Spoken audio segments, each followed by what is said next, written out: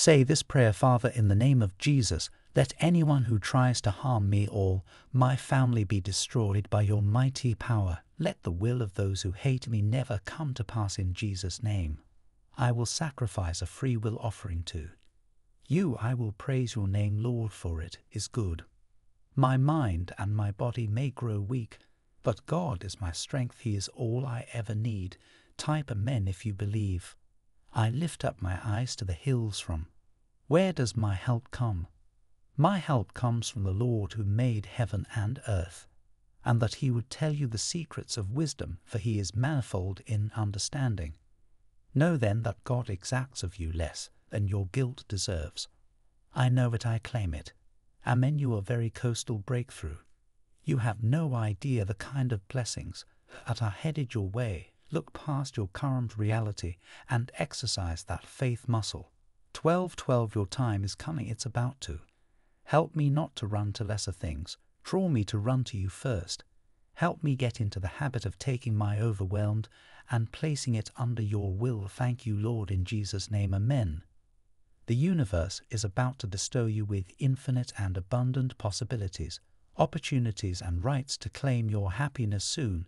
There is an incoming message from the universe today. The universe is saying be careful what you wish for because the next five days from now will be extremely important to you. You valued people more than anything in your life. You trust everyone easily, and the angels are aware of it. You have given them ample chances even after they have committed mistakes. The angels want you to act wisely and never become too emotional. The angels want you to instill your trust in people who are empathetic towards you.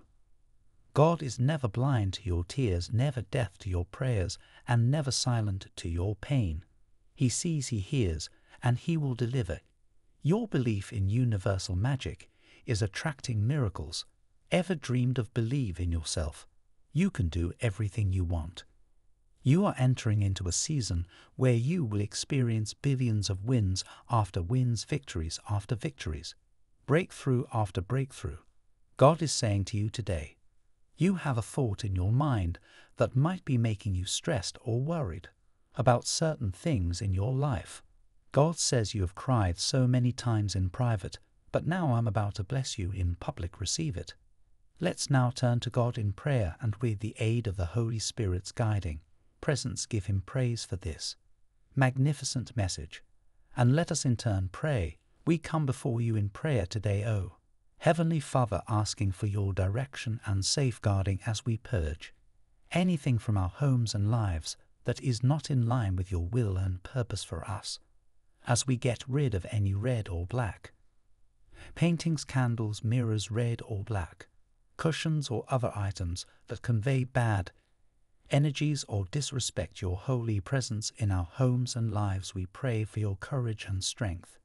The angel is saying to you today the greatest gift is going to be delivered to you soon. The angels want you to unwrap the gift of happiness and bounty shortly. There is an important message ringing from the angel's abode. Continue to be the person that supports and helps others because it is the right thing to do not only for your own benefit, Type yes if you believe in God. Bless you.